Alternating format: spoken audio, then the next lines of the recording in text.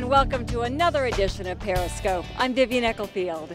Well, the city of Perris is breaking ground once again. This time it's an apartment complex called the Perris Station Apartments, aptly named for its convenient proximity to the Metrolink station. We spoke with the city officials that made it all happen. I'm here with Michael McDermott, who is the city's redevelopment and economic development manager. Michael, tell us about the project from beginning to end. Wow. Well, as I said on the podium, uh, we started acquiring this site in 2005. We started designing this project in 2006. We really thought we'd be building it maybe 2007, early 2008, and here we are, early 2012. And the goal in mind when you started this?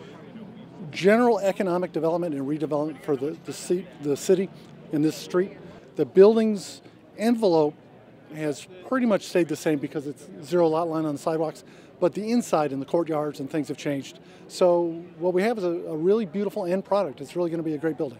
It was always, though, for low income senior citizens, right? Always. And what were the other parameters? Well, that was pretty much it, except I wanted a I wanted some type of retail draw also, so the bottom 10,000 feet of the building are offices and restaurants type thing. So that should be really good for this street. Hey, I'm curious, as far as design went, was it something that you tried to tie in with historic D Street or not? Yes and no. If, if you go down to uh, four blocks down on D and 4th, we have some 1888 buildings and 1886 buildings that are a brick and concrete look.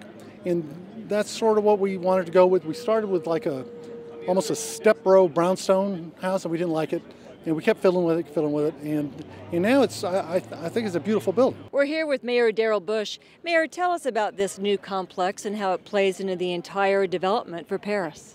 Well, this complex is a senior uh, uh, development. It's going to have retail on the bottom level, and the second and third floors is going to be senior uh, apartments. What's good about it, it will have um, hopefully some retail to seniors It'll be next door to the senior center office. It's going to be uh, right next door to the Metrolink station, which you can see right there. You know, what's also nice about this location is its proximity to the entrance to the whole downtown. Right. This is the old historic downtown entrance right there. So it's, it's going to be a keystone of the, the, the whole downtown, too. It, it really is. More development going on in downtown Perris. All right, we're here with Marion Ashley, who's county supervisor here.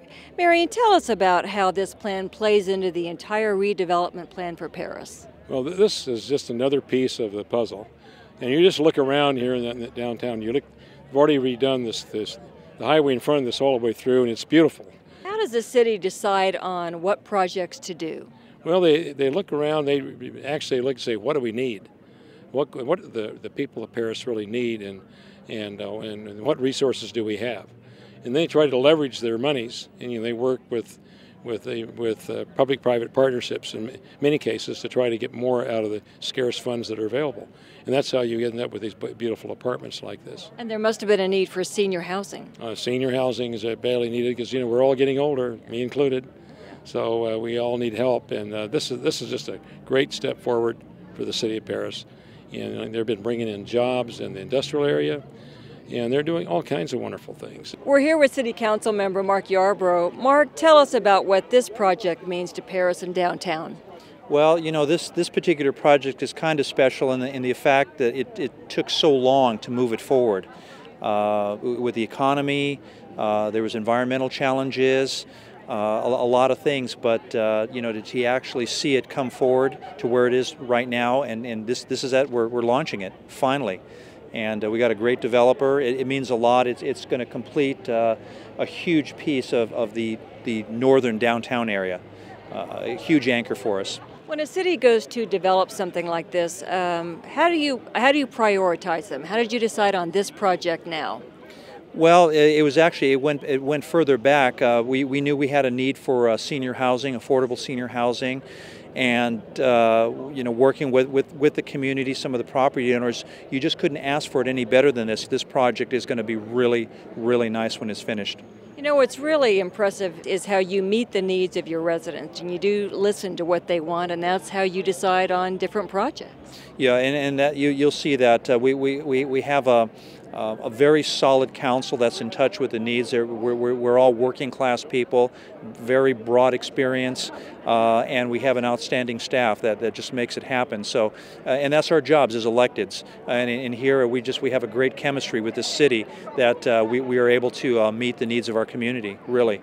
We're here with Richard Belmudez, City Manager. Richard, give us an idea of how this project fits into the whole redevelopment picture for Perris. Sure. Well, it's another piece of the puzzle, and in particular, it's a big piece of the puzzle downtown.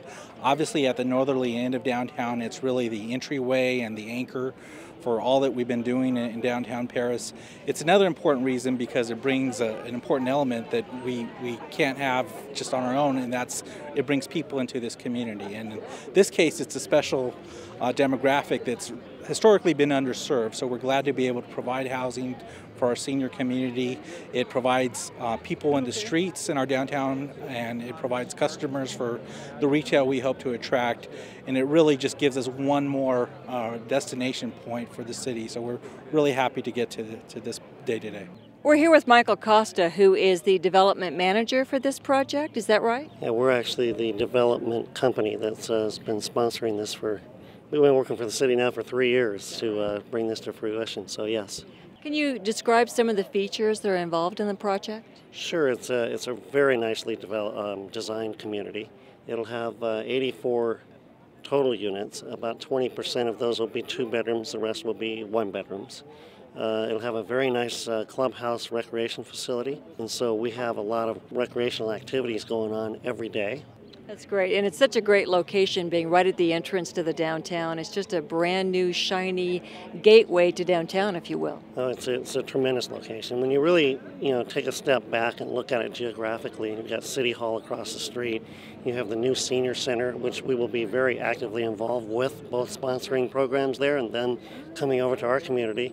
And then hopefully someday this will become a nice, you know, transit corridor so that people can get to other areas rather easily. So, from a location standpoint and amenities, what we call, you know, site amenities, uh, phenomenal. It's, really well located, and I think it helps to build the future here too as well.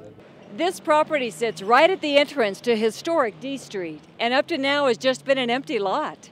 This project will provide a bright, welcoming entrance to downtown Perris and symbolize another example of the city's determination to meet the needs of its community. And that's another edition of PerrisScope. I'm Vivian Ecclefield. We'll see you next time.